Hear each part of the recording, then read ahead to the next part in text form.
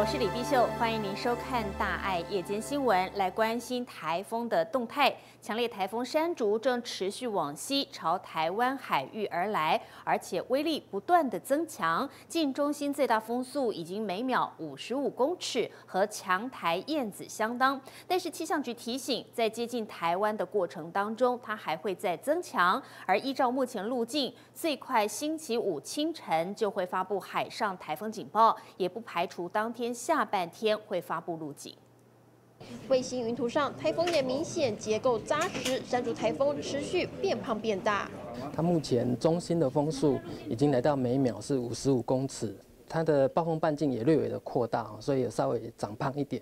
现在暴暴风半径呃来到两百八十公里左右，那它未来还是朝着比较偏西的路径往吕宋岛这边接近。好，那预计在。礼拜六的时候会是最接近我们台湾地区的时候。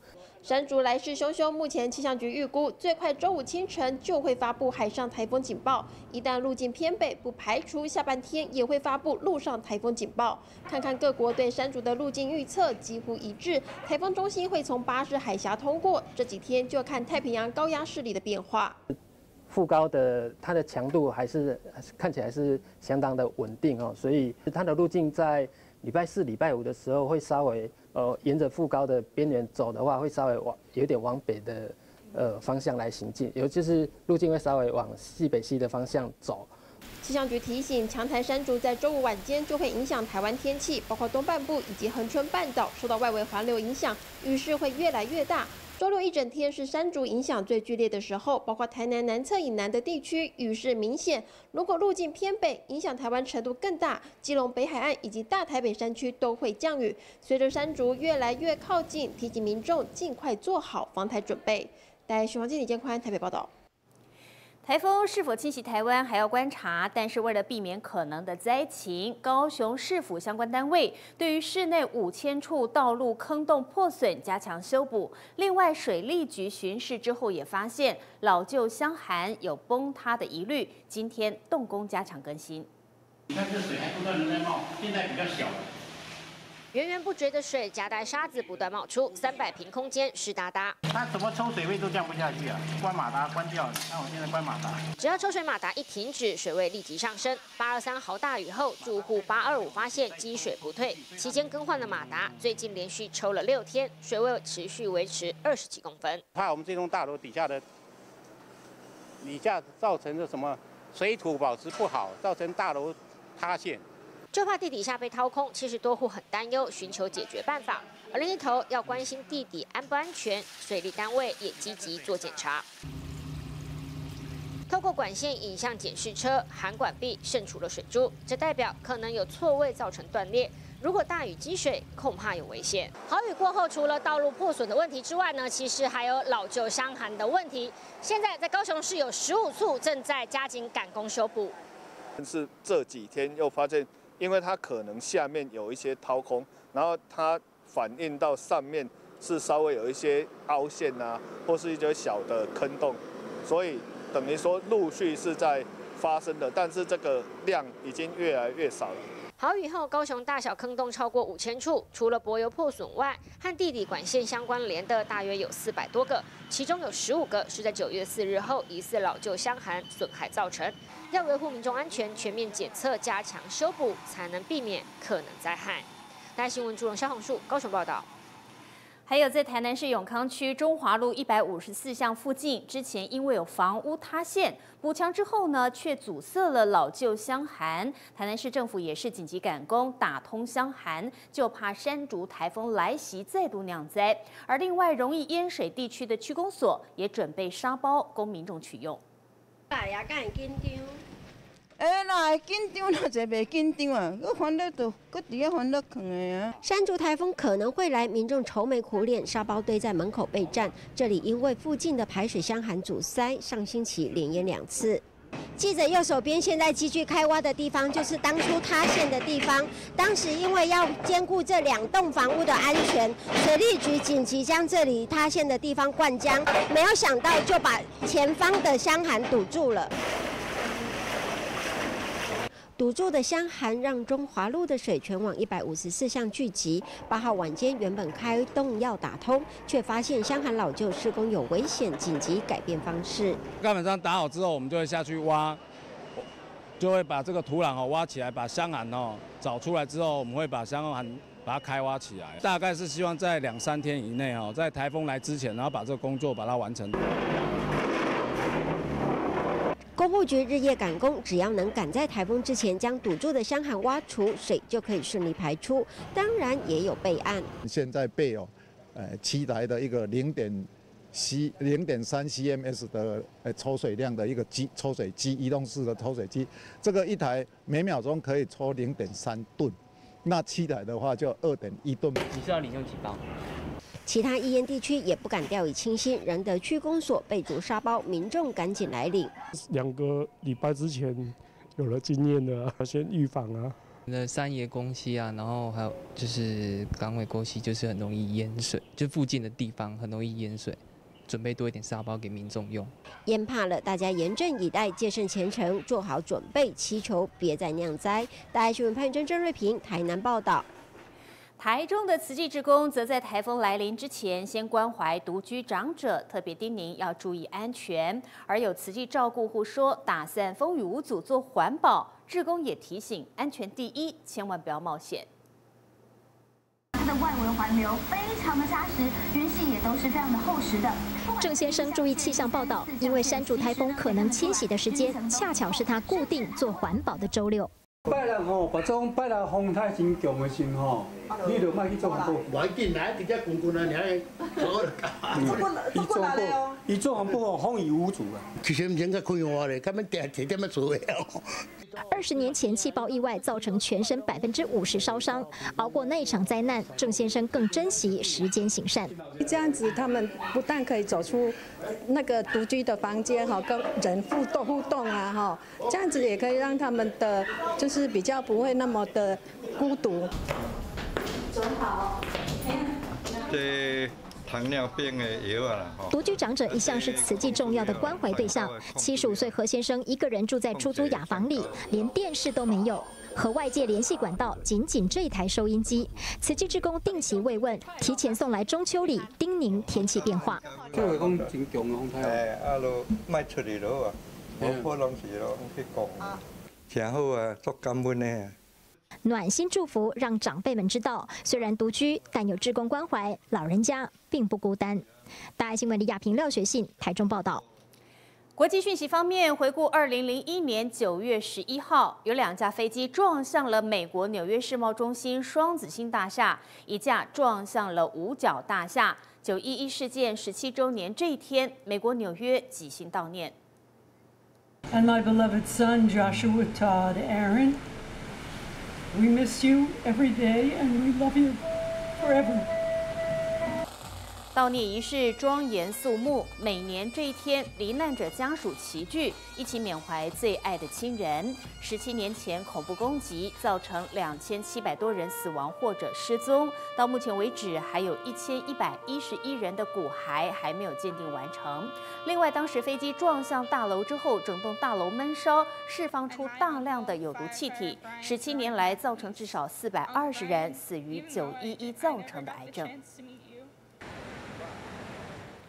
根据联合国统计，世界上营养不良的人口数已经连续三年增加。科学家说，造成贫穷和大量人口营养不良，主要和气候变迁息息相关。骨瘦如柴的孩子饿到哭不出来，在战乱的也门随处可见。根据联合国统计，全世界长期处于饥饿的人口连续三年成长。Now we achieve 821 million. people that are considered undernourished in 2017. 八亿多人，相当于全世界每九个人就有一个人挨饿，每五秒钟就有一个孩童活活饿死。研究报告指出，气候变迁难辞其咎。But climate impact is real. 22 to 23 million people alone were impacted and forcibly displaced because of change in climate. 近年来，极端气候造成严重干旱和水患频传，导致粮食短缺。进一步酿成冲突，人民陷入贫穷，形成恶性循环。联合国还发现，挨饿的人口增加的同时，肥胖的孩童数量也呈现上升趋势。Our statistics jointly with WHO say that we have among children under five, 38 million children who are overweight or obese. 另外，在北美地区还出现一种现象：孩子明明过重却营养不良，主要是因为弱势家庭无法负担比较健康的食物，孩童饮食呈现高热量、低营养，陷入虚胖。大爱新闻黄静婷编译。如何解决大量垃圾是每一个国家急需解决的环保课题。现在，澳洲政府想出了一个一举两得的方法，就是把垃圾变成提供动力的燃料。大型怪手将大堆垃圾装进卡车，运送到工厂，倒进机器中打碎。从这一刻起，垃圾变黄金。Waste is often a very jumbled up bunch of materials, and we call it unscrambling the egg. 澳洲资源公司与政府合作，在雪梨设立全澳洲最大的垃圾处理厂，每年可处理二十五万吨，相当于五万台卡车载量的垃圾。工作人员将垃圾中可以回收再利用的物质挑出来。Waste to energy creates a market for more waste rather than reducing and recycling the waste we currently make. 每年澳洲估计有六千四万吨的废弃物，但是只回收百分之五十。使用垃圾做成的燃料，水泥生产过程每年就能减少十万吨的用煤量，相当于两万台车子排放量，同时也可以减少垃圾掩埋量。大爱新闻郑宇轩编译。马来西亚柔佛州的巴珠巴峡日前也因为下了一场好雨，让永章小学淹水成灾。慈济职工排除万难，当天大雨过后就赶往协助清扫教室，希望让学童尽快恢复上课。连续几个小时的滂沱大雨，巴珠巴峡部分地区淹大水，逢雨必淹的永章小学也一片汪洋。湍急的水流连肛门都冲倒了，还好当天没上课，否则不堪设想。校长担心影响上课，清理校园刻不容缓。第一个想到的救兵就是五年前曾来挹注水灾后清理的慈济职工。因为校长，校长哦，他讲水还没有退之前，啊水已经退了，然后在试的时候一定要把它清干净，不然呢等下因为干的时候啊就很难清理。虽然交通瘫痪，又是下班时间。志工还是想尽办法赶过来。从家里来啊，做完访事就回家，回家换这个裤子就来了。到我洗肾哦，一点不易哦。连当天洗肾的志工黄静心也赶来尽一份力。脏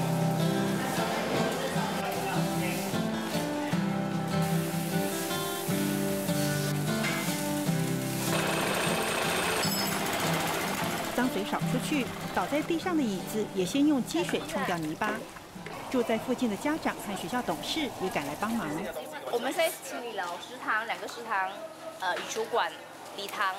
从晚上七点到十点半，三十六名志工协助清理了十一间教室和走廊。校方接手后续清洁，可以说是省了一半事，让学生尽早恢复上课。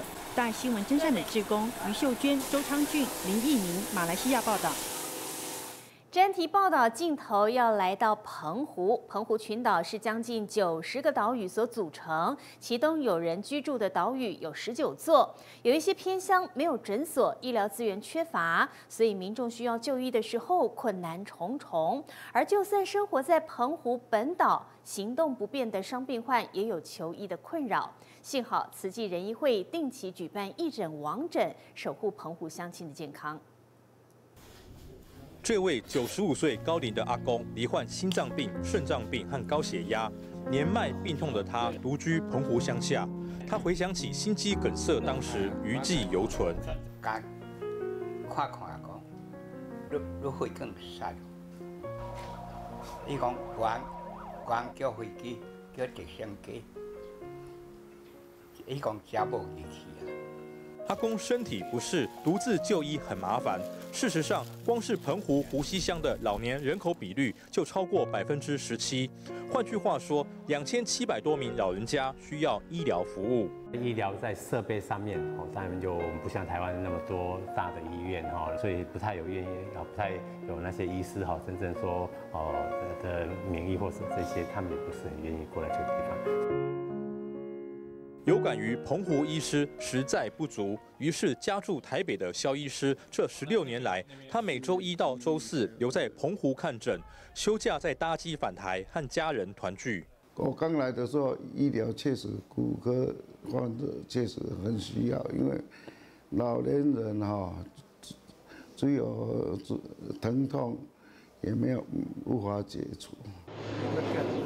宁可奔波于台澎两地，肖医师也舍不得澎湖乡亲被病痛折磨。正言法师讲的一句很好的话，说：正身体还很健康的时候，快去做善事。我跟慈济师师姐一起过来的。你好，现在比以前更好了呢，真的比以前好多了呢。蔡先生的双脚一度细菌感染，肿胀成大象腿的模样，生死攸关，医疗把关。蜂窝性组织炎，现在好像还有黑黑的皮肤，但是已经都干燥的，没没有发炎的现象啊。小猪头动看看好不好？照顾他不止医疗工作了，也是要心理上的。如果要去医院，都要叫叫叫救护车才可以了。仁医会志工不请自来，不论西医还是中医，帮助别人有志一同。澎湖这里相对市区是有一些比较弱势的地方，就是像这种呃比较乡下的地方，你能够亲身去他们的家里的话，就可以知道说他的生活环境。来，我看你出去一改，水温较无够，内底小可有发炎。啊，我正乖会甲开中药给你食者，甲胃病过用。林先生想说话时，得靠太太压住自己的气切孔，才发得出声音。我这两个相依为命，都是我太太在照顾啊。什么事情让我苦？何事让我快乐？这种要这样子跟大爱在，三人开始。哦，你们就一起看。对呀，有时候心情不好的时候都会看。有差，要不然以前都儿子会埋怨，大家想说为什么是我？其实真的出来哈，出来看患者，真的跟患者到我诊所真的冲击很大。我只能说他们都很可怜，对，不是我们这种健康人哈可以想象的。人医入病苦，人医从中学。林医师回到诊所。昔日医学院同学大多在台湾，他却选择跟留澎湖。义诊时免费提供中药材给病患。独居老人很多，他们心情难免会比较闷。那这个药带过去，他们这样吃完哈，心情会比较舒压一些了。澎湖群岛由近九十个岛屿所组成，其中有人居住的岛屿十九座。除了澎湖本岛的一市三乡，透过三座跨海大桥形成一个共同生活圈，其他十五座有人住的小岛，医疗资源极度不足，于是人医会定期到这些小岛义诊。澎湖烈屿众多，人医会脚步不止踏在土地，还漂洋过海。花屿是澎湖最西边的岛屿。当地没有诊所，岛上一百多人得自行搭船就医，很不方便。但这个小岛没有被遗忘。敬爱的会书李明，大家好。还有万安将军、花屿，哦，呃，这这几个岛都有去过，跟实际去义诊啊。哦，我是借借这个机会才有到离岛去，不然我我会长了。也是感感谢慈济能够让我有这种机会。乘风破浪的人医团，在蓝天白云下，为病患带来了生命的蓝天白云。花莲丰滨国中位处偏乡，学校的功能其实不仅教育学生，也是社区民众学习成长的地方。去年二月份开始，丰滨国中针对社区高龄民众开办了乐龄学堂，邀请各行各业专业人士来授课。中秋节之前，烘焙老师指导社区妈妈制作月饼。香喷喷的蛋黄酥新鲜出炉，卖相极佳，难以相信竟是出自一群社区妈妈的手，而他们都是第一次制作蛋黄酥。在烘焙老师的细心指导下，成品有模有样，让人食指大动。这边都是初学的、年长的、比较年长的一些妈妈们，当然课程就不可能安排太深入的东西，然后我们就是以啊简单的，然后比较容易上手的东西来做。这里是丰滨国中的家政教室，去年开始开办乐龄学堂，学员平均年龄五十五岁。刚开始只有五六个人参加，到现在每回都有超过二十位成员。即将开办的三个分班，丰滨国中都将和慈济志工合作，希望能增加居民的互动，提升社区情感。有点困难度，不过还是可以慢慢学，可以跟很多社区的妈妈们一起共同学习，很开心。大家一起上课的感觉怎么样？很愉快。为什么？不会老人痴呆。校园的上课时间，同学们正在课堂上和老师积极讨论，气氛热络。而乐龄学堂的教室里也是热闹滚滚，不同年纪、不同课程，同样乐在学习，精进成长。阿妈，你们快乐吗？快乐。大爱新闻黄文琪、郑胜明、华联报道。慈济大学捐赠了两百五十张旧式课桌椅到凤林火车站，凤林站长带领工作人员耗时三个月，一起改造课桌椅。整个车站现在增添客家复古氛围，等车好舒适。各位旅客好，八点上车人员应有百会先开往树林。凤林车站的月台边飘来浓浓的客家复古风，一张张旧式课桌椅，民众坐了直呼好舒适。我觉得之前的椅子不好坐，换成这种比较舒服。对，怎么说个舒服法？够大，不会很小。因为木头的，然后又不会热。那如果平常那个车站的椅子是塑胶，晒了会热。考虑到要给长者舒适的候车时光，那些原本要被淘汰的课桌椅，车站工作人员耗时三个月后改造完成，焕然一新。凤林镇，哦，他们都是长者，那长者里面有很多都是行动不便。行动不便，而且他们如果没有没有位置坐的话，他们就站着很辛苦。那与我们车站每一位员工，大家都非常认真，然后 DIY 的把这个课桌椅用钉子把它在那个月台上把它固定起来。这些木头椅子是由慈济大学捐赠的，为了延续物命，就与凤林车站结下姻缘。东西放久了，你不使用也是会坏掉，所以我们一直希望说，呃，能够转捐赠给需要的单位。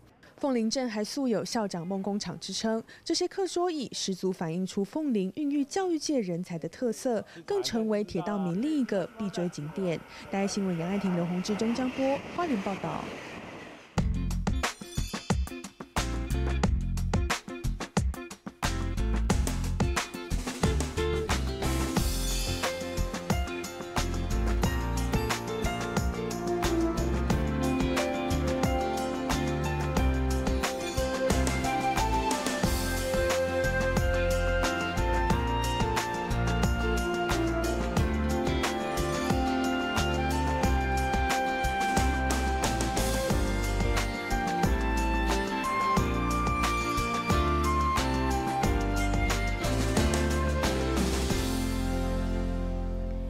明天晚间八点，大爱剧场将推出新戏《超完美任务》，故事主题是造血干细胞捐赠，希望让观众们了解这项无损己身的救人任务。感恩您收看，祝福您晚安，再会。